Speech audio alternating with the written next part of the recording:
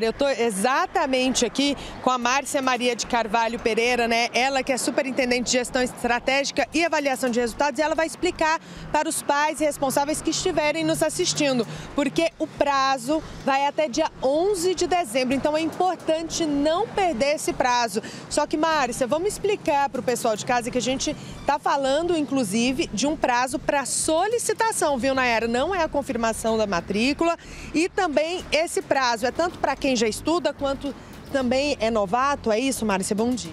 Bom dia, é isso mesmo. O prazo é para quem estuda na rede, ele precisa de confirmar, o pai ou responsável precisa de confirmar a matrícula na escola que o seu filho estuda até o dia 11 de dezembro. E para os alunos novatos que ainda não estudam na rede estadual de educação, é o prazo para solicitação de matrícula, que começa hoje, dia 23, e vai até o dia 11 de dezembro.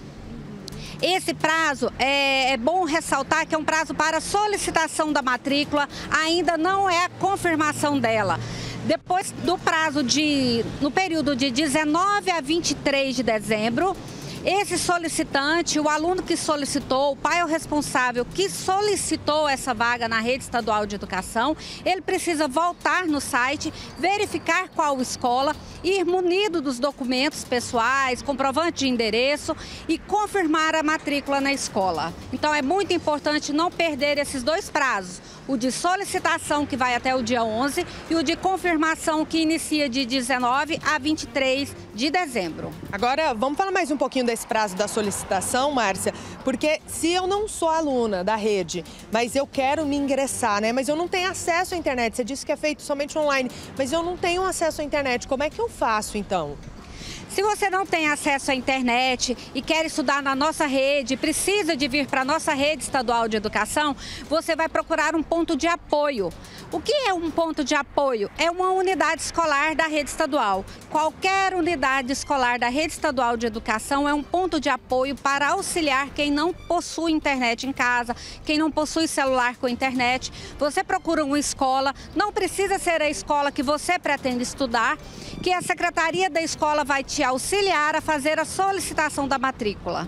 Agora, ali no momento da solicitação, é importante apresentar quais informações, quais documentos pessoais também e o que mais que eu tenho que passar para quem estiver fazendo a solicitação. É importante que tenha em mãos o nome completo do estudante, é data de nascimento, é CPF, caso possua, ou CPF dos pais, e munido também do seu comprovante de endereço para é, informar os endereços.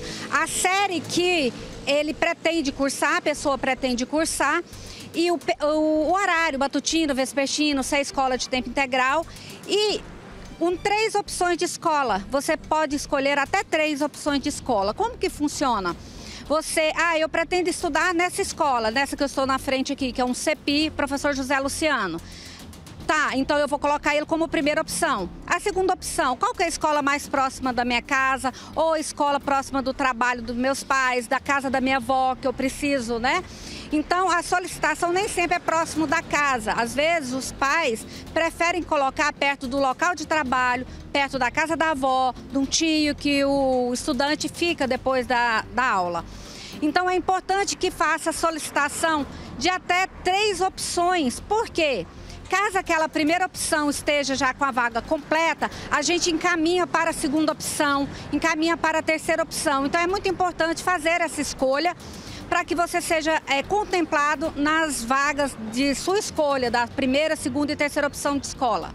Agora o prazo vai até dia 11 e é importante não perder esse prazo, porque senão a solicitação também cai, né? Se passar o prazo e o pai ou a mãe não faz a matrícula, perde. Exatamente. A gente não pode deixar passar o prazo de solicitação da matrícula, porque depois dificulta muito, porque agora é muito simples. Você solicita, você escolhe até três escolas. Depois de passar do prazo e depois de passar do prazo de confirmação, se a pessoa solicitou agora nesse período e não foi até o período de confirmação, ela vai perder aquela vaga e vai abrir vaga para uma outra pessoa. E aí quem perdeu essas duas oportunidades vai ter que procurar depois escolas individualmente, de escola por escola. Então dificulta muito para é, quem quer estudar na rede. Então é muito importante que você faça essa solicitação no período adequado. A Nayara no estúdio tem uma pergunta. Oi, Nayara. Michele, é, que, pergunta para ela, por favor, quem quer trocar o filho de escola, mas quer continuar na rede estadual de ensino, tem que passar por esse processo? Quem quer trocar o filho de escola? Né, o local não tá bom, talvez quer mudar para um local mais próximo de casa ou do trabalho, como você mesmo falou. Ela passa por esse mesmo processo, ela tem que fazer seguir esse mesmo protocolo. Se já é um aluno da rede, o período de é, pedir transferência por interesse particular, que a gente fala, que o aluno interessa ir para outra escola, ele deve procurar a secretaria da escola que ele estuda. A secretaria vai fazer essa solicitação e já vai colocar no sistema qual escola que ele pretende ir. No período de confirmação da matrícula, que é o mesmo período de 19 a 23, ele vai até a escola que ele pediu transferência para levar a sua documentação também. Então é muito simples também fazer, pedir, fazer a solicitação de transferência. Agora, Márcia, qual é a idade mínima para ingressar na rede? Não, não temos idade mínima, mas nós temos séries ofertadas. Quais as etapas de ensino que a gente oferta? A partir do sexto ano do ensino fundamental. De sexto ao nono ano do ensino fundamental, todo ensino médio e algumas escolas ofertam também educação de jovens e adultos, a EJA. Márcia, agora fala pra gente o site, então, já que é tudo feito de forma online, qual que é o site que os pais precisam entrar para fazer a solicitação? Ele vai entrar em matrícula.gov.br e lá vai ser direcionado, o site vai direcionar para o Expresso, que é do governo, e lá ele vai fazer a matrícula, realizar a matrícula. Então o site é matrícula.gov.br. Agora, lembrando que quem não tem acesso à internet faz o quê? Vamos esclarecer de novo rapidinho para o pessoal de casa. Quem não tem acesso à internet, procure uma escola e a escola vai te auxiliar a fazer a solicitação de matrícula do seu filho ou sua solicitação, caso você tenha algum tempo sem estudar e pretende voltar a estudar, procure uma unidade, procura é, fazer sua solicitação no período adequado. Obrigada, Márcia. Lembrando que o prazo vai até dia 11 de, de dezembro e quem não tem acesso à internet pode procurar qualquer ponto de apoio, que é qualquer escola da rede estadual, tá, Nayara?